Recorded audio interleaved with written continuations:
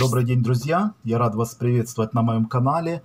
И я с вами продолжаю делиться опытом освоения редактора DaVinci Resolve. И сегодня мы с вами познакомимся с тем, как выделить определенный участок видео таким образом, чтобы он э, был подчеркнут для зрителя. Иногда бывает так, что мы с вами просматриваем какой-то сайт или даем в наших видео информацию, с какого-то сайта и показываем видео этого сайта. И нам необходимо подчеркнуть э, какое-то предложение или какую-то схему на этом видео. И я сейчас покажу, как это сделать легко и просто в DaVinci Resolve.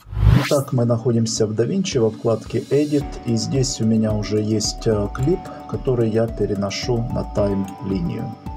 Давайте здесь уберем звук, чтобы он нам не мешал и э, проиграем такой вот небольшой клип. Мы видим, что это движение страницы. И меня интересует вот э, здесь вот этот текст, который бы мне хотелось выделить каким-то образом, чтобы лучше подчеркнуть его для зрителей. Поэтому как это мы будем делать?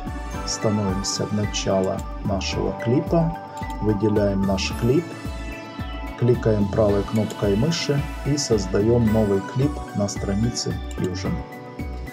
Переходим на страницу Fusion.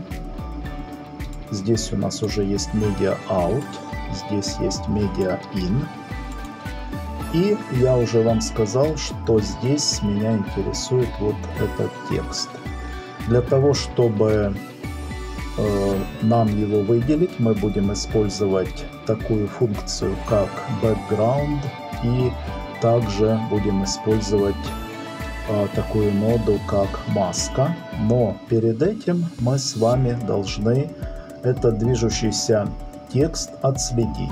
Отслеживать мы будем при помощи ноды Tracker. Для этого мы выделяем ноду MediaIn нажимаем клавишу Shift пробел и находим трекер.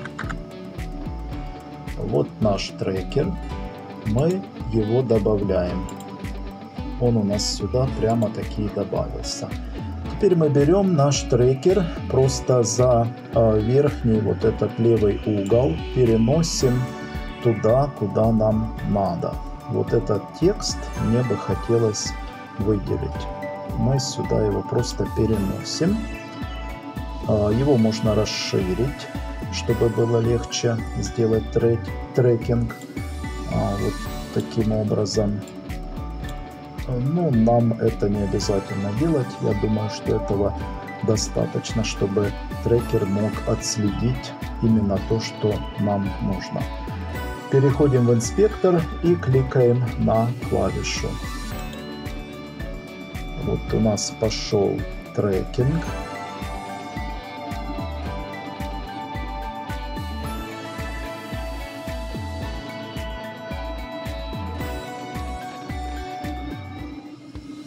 Вот трекер у нас э, получился. Теперь мы берем и э, переключаем вот этот э, наш трекер в режим, который называется э, необходимо перейти вот здесь во вкладку Operations и Operation переключить в режим Match Move. И таким образом у нас э, теперь наш файл, он отслежен. Но теперь нам необходимо добавить э, маску и каким-то образом выделить этот текст. Как мы это будем делать? Переключаемся в начало этого клипа и выключаем все ноды, кликаем просто по пустому пространству. Сейчас мы добавляем вот такой background. Добавили ноду background, переключаем на первое окно, изменяем цвет этой ноды, этого бэкграунда, сделаем его красным. И теперь применяем к этому бэкграунду маску. Маска у нас будет прямоугольная, Таким образом, маска у нас применена. И здесь, э, когда у нас эта нода вот выделена, да, мы можем эту маску преобразовать в очень интересный э, элемент. Для этого мы маску нашу вот переносим и наводим сюда, таким образом.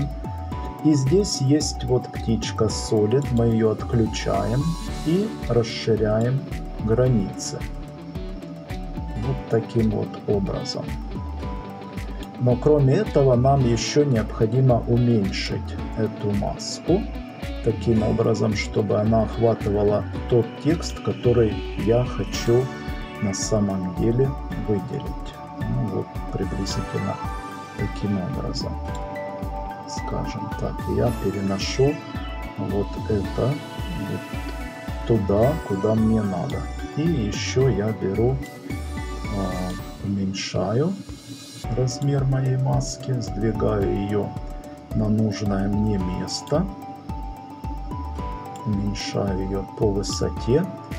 И теперь мне кажется, что у меня слишком широкий, очень даже широкий край. Я этот край уменьшаю, ну еще делаю меньше, насколько это для меня будет приемлемо. И теперь мне необходимо завести вот это все дело в мой трекер. Каким образом я делаю это? Вот таким образом. Вот, раз, все. И у меня появилась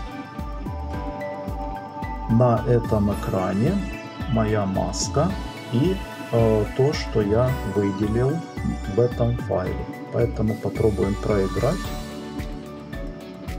Вот пока у нас мы видим, что наша страница не двигается. Но через некоторое время вот она начинает движение. И мы видим, что то, что у нас выделено, остается на месте. Переходим во вкладку Edit.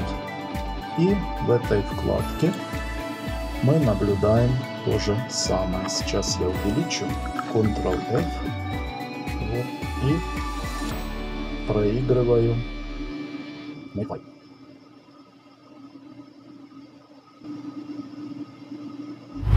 Итак, друзья, если вам понравился этот способ, это видео оказалось для вас полезным, поставьте, пожалуйста, лайк, подпишитесь на канал и до новых встреч в новых видео, в новых уроках по DaVinci Resolve.